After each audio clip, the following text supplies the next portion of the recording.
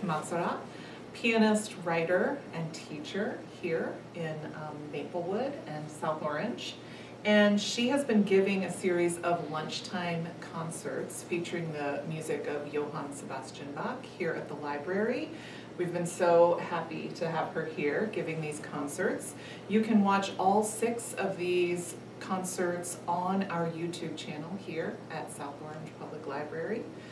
Um, Birgit holds degrees in piano and the teaching of music and English from universities in Cologne in Germany. She has taught and played widely in both Germany and the United States, now a resident of South Orange. New Jersey, she maintains a private studio and continues to teach and play in the New York City area and beyond. So, Birgit, um, I want to thank you so much for sharing this series uh, with us, and I know that the the series is part of Bach on the Subway, Right. that program, and I was wondering if you could talk a little bit about that program and your participation in it. So uh, Bach on the Subway was started in 2010 by a New York cellist, Dale Henderson. He thought that people would benefit from listening to Bach's music and from listening to more of it, and he figured that um, many people simply never got exposed to the music because they wouldn't go to concerts.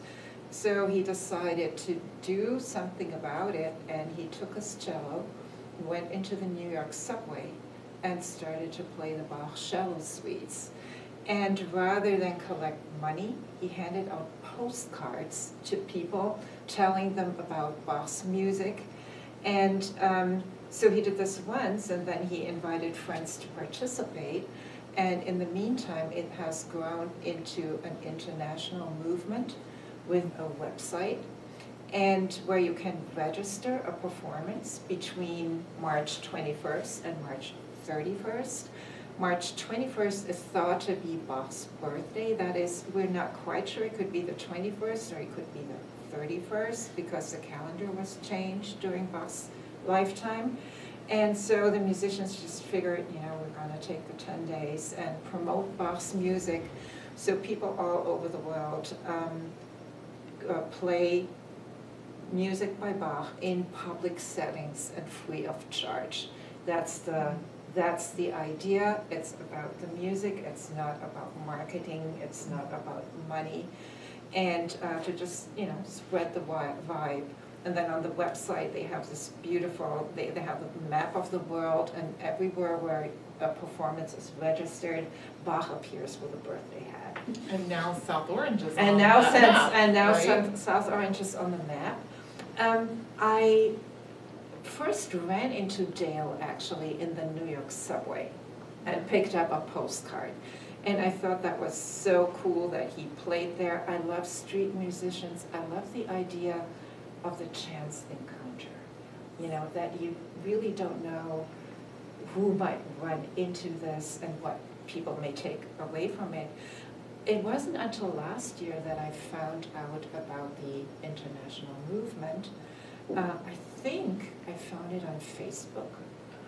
And then I ended up playing at the Port Authority bus terminal in New York City. Wow, how They was that? have a, they have a, a, a concert stage there and people can sign up to play. So I played two concerts with book one of the Belgian Review. Wow, that's amazing. What a setting.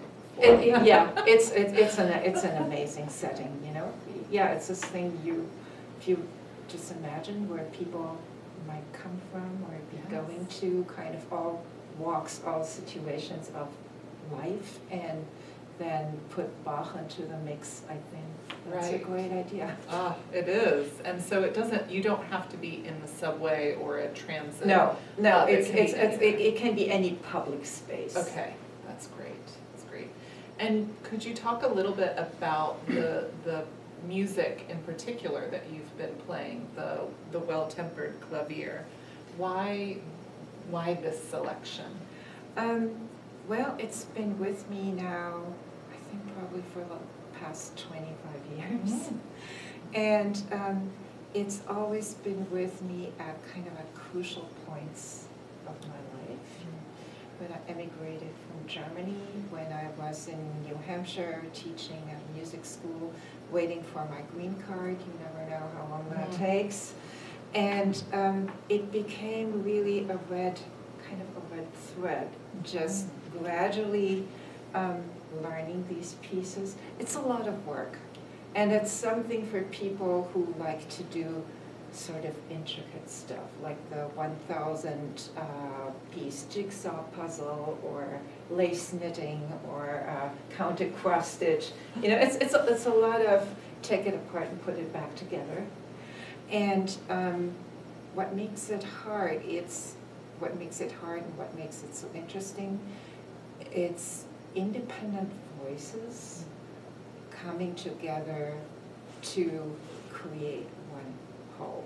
So, and you have a, you have a um, common theme at the beginning of the piece, which goes through the different voices. And then other themes uh, uh, join in, and they, they, they're, you know, played back and forth between, between the voices. Everything is always in motion. That's what, you know, makes it, makes it kind of difficult, but also so interesting.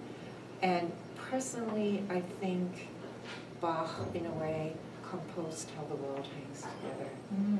You know, we saw that in the pandemic, this network, and how everything shifts when thing cha- things change.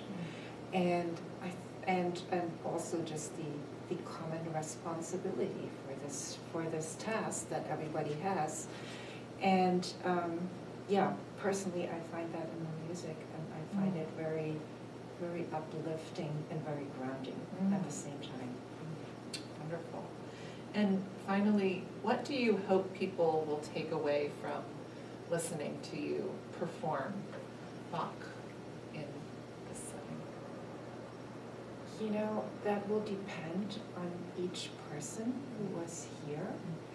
Um, but I'm hoping, I'm, I'm actually, I'm sure that just getting, getting the vibe out will make a difference.